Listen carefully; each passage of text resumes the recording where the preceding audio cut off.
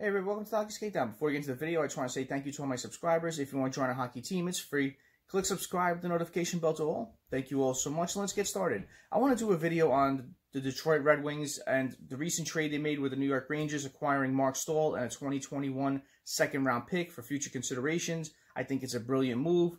You pick up a, a serviceable defenseman. You know, he's 33 years old, 5.7 million AAV, doesn't have a lot of term left and, um, you know, in, in, this year he played in 52 games, two goals, nine assists, 11 points. So he still is serviceable. You pick up that second round pick in next year's draft, which is very good as you, reach, you know, get another uh, future asset. So that's always good. So it's good that Steve Yzerman did this deal.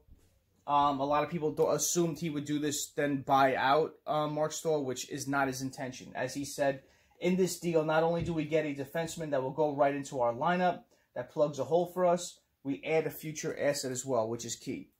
Um, he went, also went on to say that the Red Wings are in a position to do more deals like this in the future if they come along.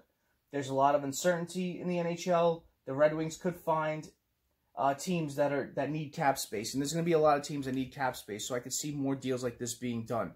Um, the Red Wings are in a good position this year. They have a lot of cap room. They could take on contracts like this while also building for the future. So I think it's very good that Steve uh, Stevie Yzerman came out and said this.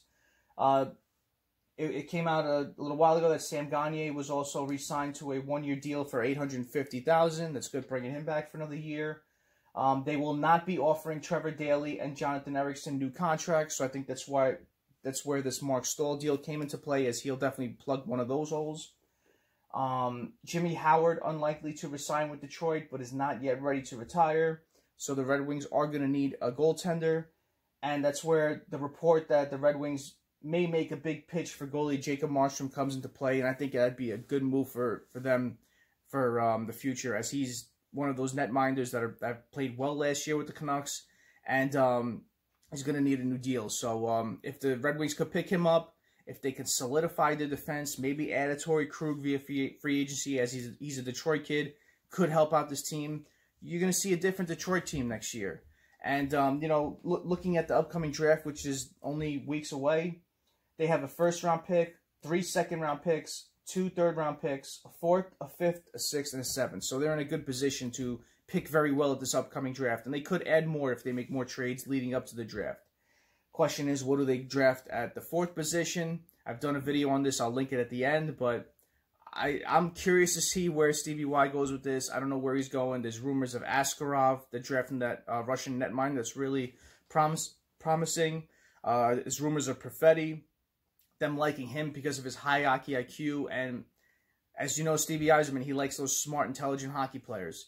Um, there's rumors of Graben Rossi, which, you know, I, I think they should go with. And then there's always those two defensemen in Drysdale and Sanderson that a lot of people are touting as being future great uh, defenseman in the NHL. So we'll have to see what the future holds with Detroit, but I really like this move uh, acquiring Marc Staal.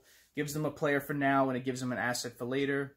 And, you know, it it's curious to see what they do heading into free agency. They have a lot of cap space. They can make some trades. They could sign some players, and they could draft really well, where some players can possibly go into the lineup next year if they're NHL ready. So We'll have to see what happens with this, but I lo- really like this move for Stevie Y and also for the Rangers as it frees up cap room for them and makes question marks of what will they do next. Are they planning to do this for a big move? As we know that you know the Lundqvist buyout is looming, and um, they already said he's not going to come back. So curious to see what happens with both teams, but um, I really like this move for Detroit. Comment below what you think about this. Uh, do you like the trade for Marc Staal? What do you think uh, Stevie Y will do in free agency and in the draft? Comment below. And thank you all for watching. I really appreciate your time. Smash that like button. And if you haven't done so, subscribe to the Hockey Skate Down. Join our hockey team. Thank you all so much. Have a great day. Have a great night. And take it easy.